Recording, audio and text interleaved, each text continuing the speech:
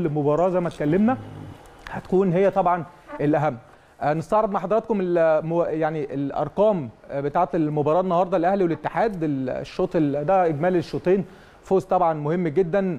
1-0 ثلاث نقاط مهمين. استحواذ 70% للأهلي مقابل 30% للاتحاد السكندري. عايز أقول لحضرتك إن الشوط الأولاني كان الاستحواذ طبعا وصل ل 72 و73 مقابل 28 و27 التسديدات بقى هنا أنا عايز أقول لحضرتك ان التسديدات في الشوط الأول فقط للنادي الاهلي كان سبعة.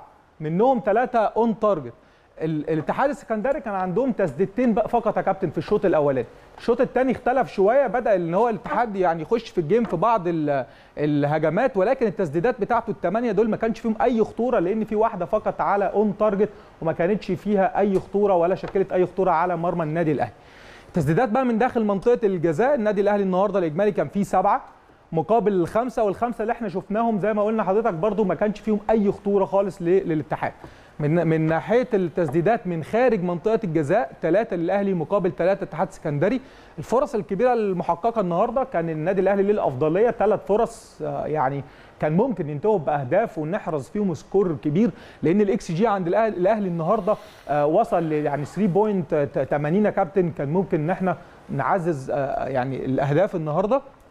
التمريرات الصحيحة تخيل يا كابتن إن إحنا تخ- تخطينا ال 600 تمريرة النهارده منهم طبعا 542 تمريرة صحيحة النهارده النادي الأهلي لأن الاستحواذ وصل طبعا زي ما بنقول ل 72 73% فكان عندنا تمريرات بشكل كبير جدا صحيحة. حتى هنتكلم بقى على التمريرات الكاسره للخطوط اللي هي في الثلث الأخير.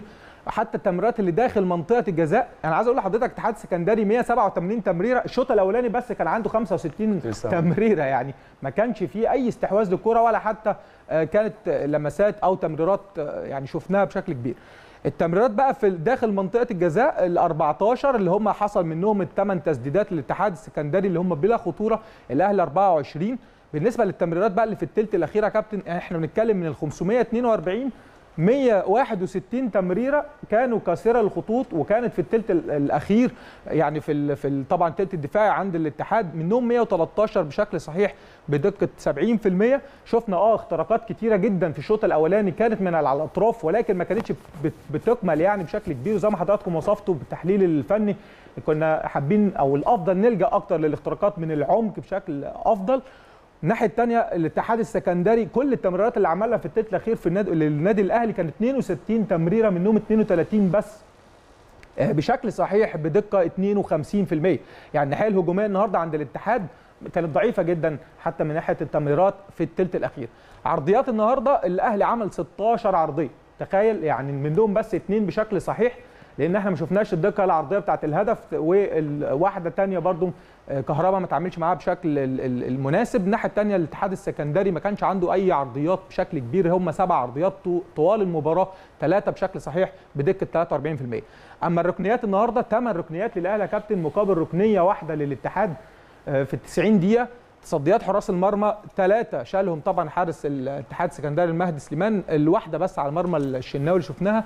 كسب الكره واسترجاع الكره كانت طبعا الاثنين مقاربين وده الرقم اللي اتكلمنا مع حضرتك يا كابتن ايمن قبل المباراة إن الاتحاد رغم إن هو عنده مشاكل دفاعية ورغم طبعا التنظيم الدفاعي الكبير والفلسفة الدفاعية لكابتن طارق ولكن عند استرجاع, الكورة. آه كانت عالية. يعني ده من من النقاط الإيجابية اللي شفناها حتى في المشوار الدوري حتى الآن عند الاتحاد يعني مقارب للنادي الأهلي. بس إحنا اتكلمنا في, في نقطة. مهمة جدا. خسرت الكورة. فيما بعد بالظبط فيما بعد بالظبط. ود- وده اللي جه منه الهدف. مظبوط. وده اللي شفناه على طول. بالظبط. طبعا ال counter pressing عند الأهلي دايما عالي وحضراتكم دايما بنوصفه حتى بالأرقام. بتقول لنا الأهلي على طول في حالة فقد الكرة بيقدر إن هو يسترجع الكرة بسرعة جدا. الاتحاد آه بيسترجع الكرة وبيفقدها بسرعة جدا. بالظبط. فبالتالي التفوق بقى بالثنائيات. يا كابتن النهارده كان رقم كبير عند النادي الأهلي من ناحية الدقة من ناحية إن أنت تكسب 32 آه، آه، آه، يعني آه، التحام ثنائي النهارده ثنائيات كبير كتير النهارده بالجملة وكان ليها يعني رامي النهارده ومحمد عبد المنعم. بصراحة كان ليهم دور كبير جدا. ثنائياتي طبعا أكرم وهنتكلم بالأرقام ال- الإنديفيدوال عند بعض اللعيبة. الناحية الثانية عند الاتحاد 47% فقط هم كسبوا 28 من إجمالي 60 أما النادي الأهلي طبعا كان التفوق هنا من التفوق آه، بالثنائيات يعني. ده بالشكل الهجومي والشكل الدفاعي عند الفرقتين. النهارده بقى بنتكلم على محمد عبد المنعم. آه أكرم خد رجل المباراة ولكن عايزين ندي بقى محمد عبد المنعم لأن أفضل أرقام وأفضل سكور كان محمد عبد المنعم ثم رامي, رامي ثم. ثم أكرم. يعني من الناس اللي هي اللعيبة اللي لها دور كبير جدا النهارده في امتصاص طبعا حضراتكم وصفتوا ال- وكانوا كانوا بيمتصوا كل الهجمات اللي هي لا تشكل خطورة بشكل كبير ولكن دايما كانوا متواجدين. شفنا النهارده عبد المنعم لمس الكرة 96 مرة عمل تمريرات بقى النهارده يعني 88 الدقة منهم 81 يعني عمل سبع تمريرات بس بشكل يعني آم، غير صحيح يعني. فده نسبة كبيرة جدا 92% دقة تمريرات عنده. عمل شارك في ال long balls النهارده 13 واحدة منهم 11 بشكل صحيح يا كابتن. كسب الثنائيات كلها. كل الثنائيات النهارده اللي اتلعبت على محمد عبد المنعم كسبها يعني محمد عبد المنعم تقريبا في آخر سبع مباريات ما فيش حد كان بيراوغه. يعني كسب كل الثنائيات. الناحية الثانية الالتحامات الهوائية برضو عنده يعني أربعة التحم فيهم. كسب منهم اثنين فأرقام كلها إيجابية خاصة من الناحية الدفاعية اللي إحنا اللي لعب لعبت دور كبير جدا محمد عبد المنعم ورامي ربيعه مظبوط. بما إن طبعا أكرم النهارده رجل المباراة فحابين نستعرض أرقامه.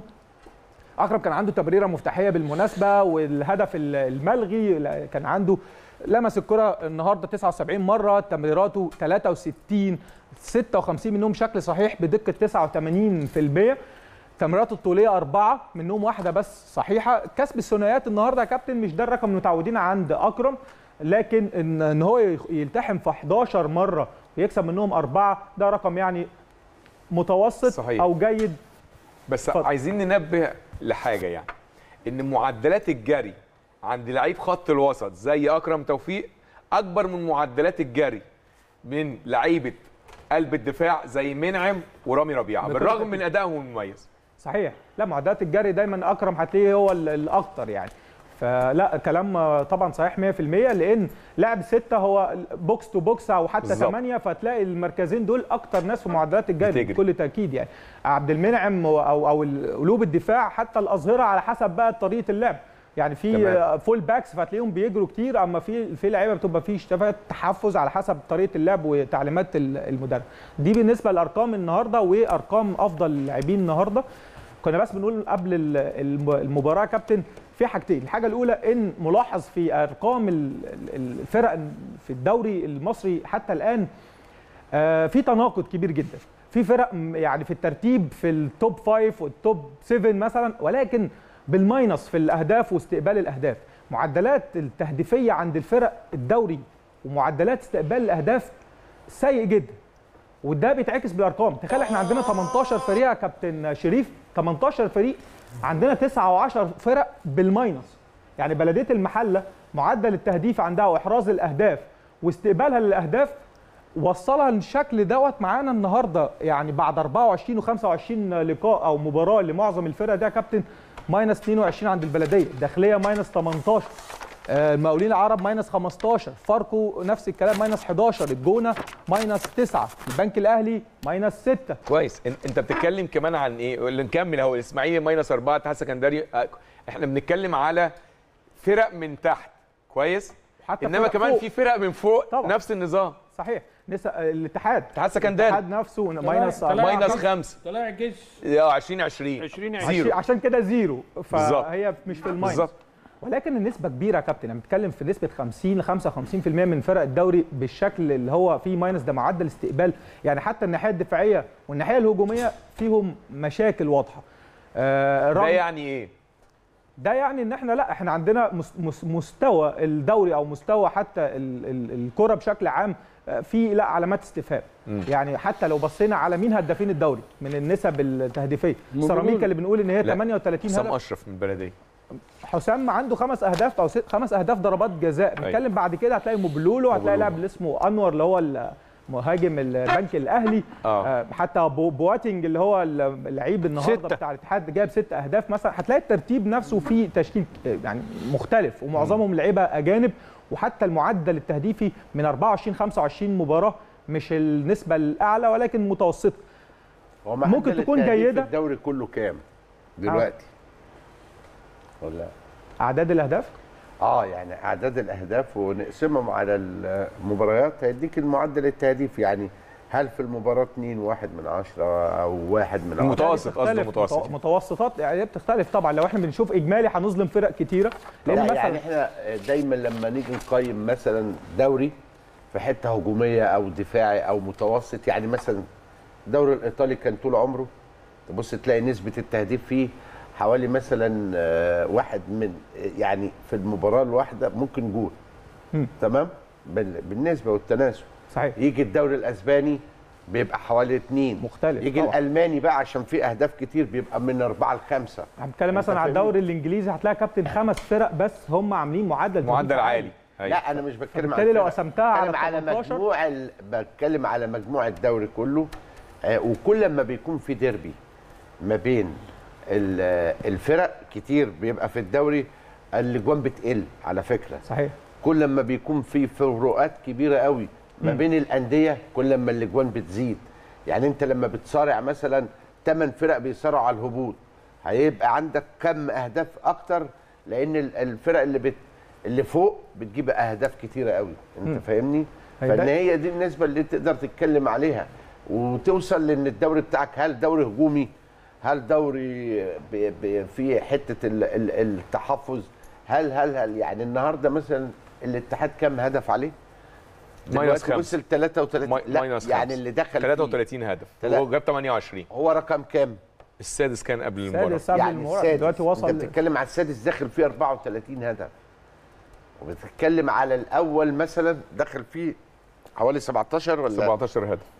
أيوه 17 نفس الكلام إحنا بصينا على سيراميكا اللي هي 14. جابت 38 هدف 14 هدف آه، بيراميدز بيراميدز آه أقوى خط دفاع؟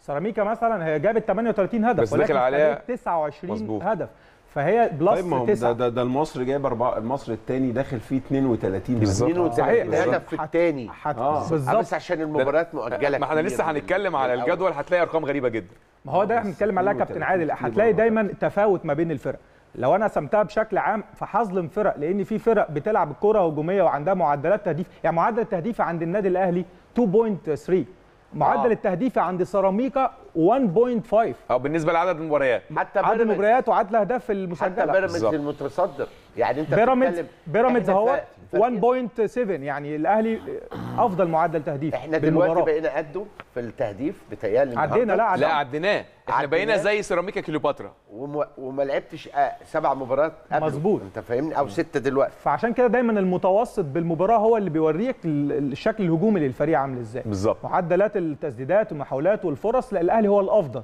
من أقل عدد مباريات اتلعبت حتى الآن. صحيح. وحتى في الناحية الدفاعية.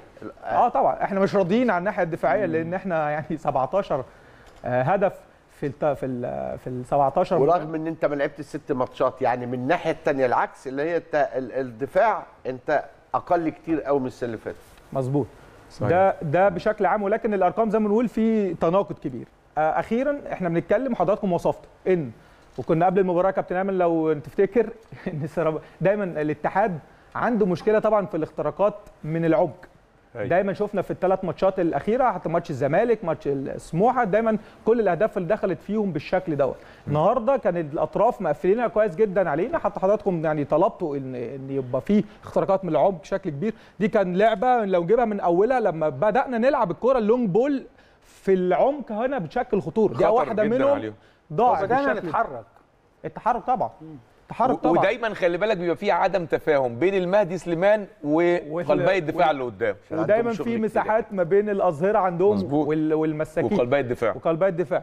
فدي واحدة من الهجمات اللي بدأت بقى الأهلي لما بدأ يلعبها شكلت خطورة. وده طبعا خلت كهربا في انفراد بمواجهة المرمى. لو هنكمل في في فرص كتيرة جدا اتلعبت بنفس الشكل. بص يا كابتن نفس الكلام هنا.